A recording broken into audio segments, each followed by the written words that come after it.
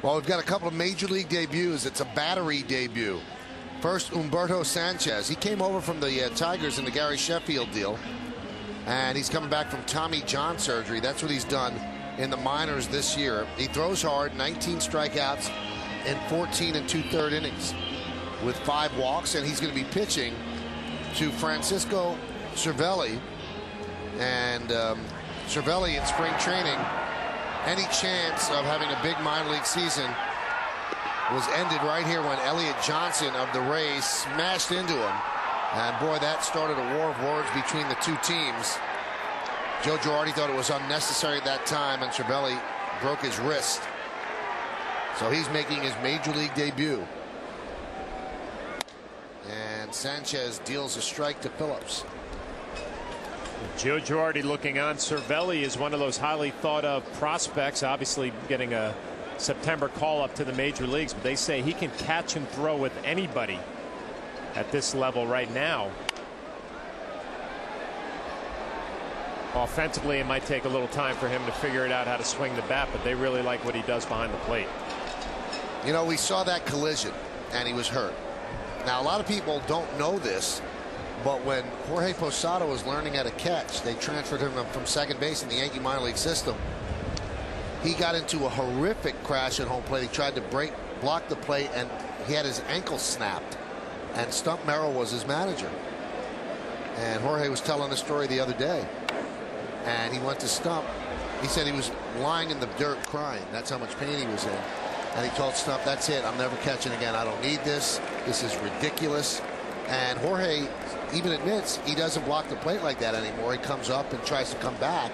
But that's going to be a scary thing for a catcher, John, to sit there and know that you're going to absorb this guy coming in at full speed and you're standing still.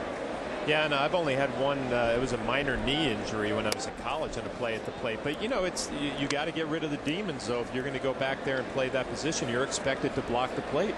So uh, you know, we'll see how Cervelli reacts after breaking his wrist. Pudge Rodriguez had a long career behind the plate. He knows what that's all about, as does Joe Girardi.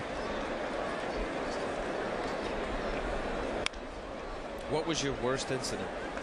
Big league or anywhere where somebody rang your bell? I got I got run over in double A. I forget who it was. Some uh, some kid with the Mets in the minor leagues. He drilled me, got me good. You know, one of those nothing was broken, nothing was injured, but you get up and your bell's rung. You don't want to show him that he got a good shot on you, but that one left a mark.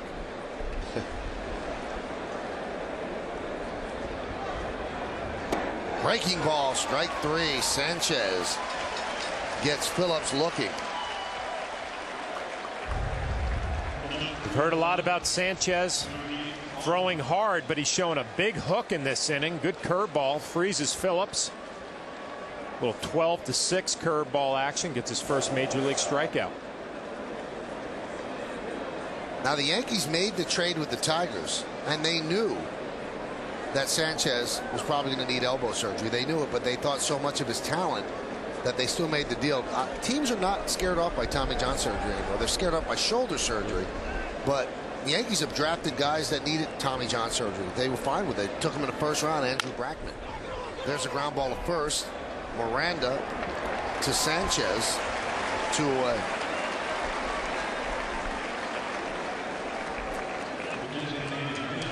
There's a scar. I, yeah, I know. I know what you're saying. That you know that that scary thing, and who who knows how it plays out, especially with a young pitcher who really hasn't performed at the major league level. There's a reason why you're hurting your arm, and I just know that you know by my own experience of I had bad mechanics and I ended up having two shoulder operations and I changed mechanically. So yes, teams are not less afraid because guys are actually stronger with the stronger ligament. But if you really haven't you know achieved much success at the major league level, there's a reason why your elbow hurts and you're throwing mechanically wrong. And then that's where the whole you know you mentioned Andrew Brackman, the NC State number one pick that the right. Yankees made. You know, so you have to now have to say, okay, you know, you're doing things incorrectly the way you're throwing the ball that's undue strain. You have to make some modifications in your delivery. Do you have to do that even with the elbow? Because they put a tendon there that's stronger than the ligament right? I mean wouldn't that hold up even with bad mechanics? Yeah but you'll still feel pain michael. It, you're putting in a stronger ligament. You know the fact that you're leading with your elbow that's why that's where all the torque's going. And it's going to be sore. You're more than normal soreness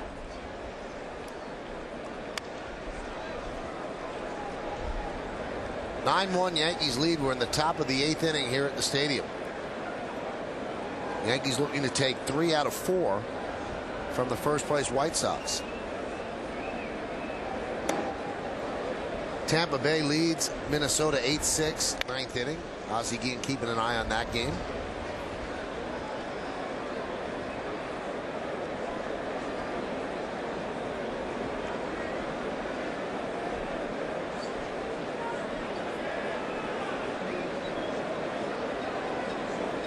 And the 2-1.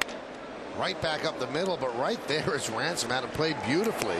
And guns down Thome for the final out of a 1-2-3 inning. So Humberto Sanchez in his first big league inning puts down the side in order, and we go to the bottom of the eighth, 9-1 Yanks.